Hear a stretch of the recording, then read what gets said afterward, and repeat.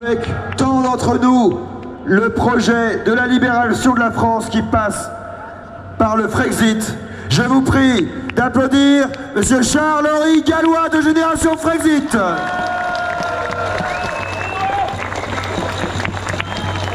Bonjour à tous et merci comme d'habitude d'être très nombreux. Aujourd'hui, forcément, je vais vous parler de l'ignoble réforme des retraites. Évidemment, il faut appeler tous les députés à voter cette motion de censure.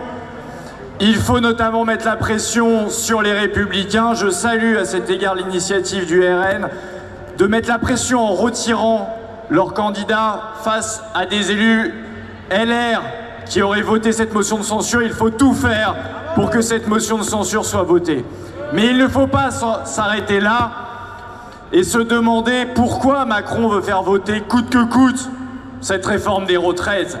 Et il faut le répéter inlassablement, cette réforme des retraites est exigée par l'Union européenne d'Ursula von der Leyen.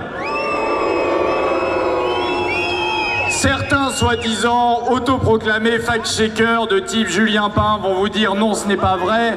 J'ai fait plusieurs vidéos, plusieurs émissions, j'ai donné tous les textes et je peux vous l'affirmer, oui, cette réforme des retraites est exigée par l'Union européenne. Et donc, à un moment ou à un autre, il faudra se poser la question de l'Union européenne si on combat sincèrement cette réforme des retraites. Et enfin, je voulais vous parler aussi de la méthode le fameux 49.3. L'ignoble 49.3, pourquoi ignoble? On vous dit oui, le 49.3 fait partie des institutions. C'est vrai. Mais sauf que dans l'esprit de la Ve République, dans l'esprit du général de Gaulle, le 49.3 était utilisé par le chef de l'État s'il avait un Parlement en opposition à lui, mais il le faisait s'il savait qu'il avait avec lui une majorité du peuple. Or, cette réforme des retraites est rejetée par 73% des Français, 93% des actifs. Donc, le problème, ce n'est pas une question d'institution.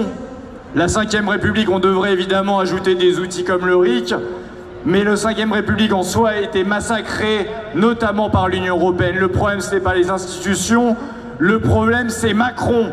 Et donc, qu'est-ce qu'il faut faire? Il faut démacroniser la République.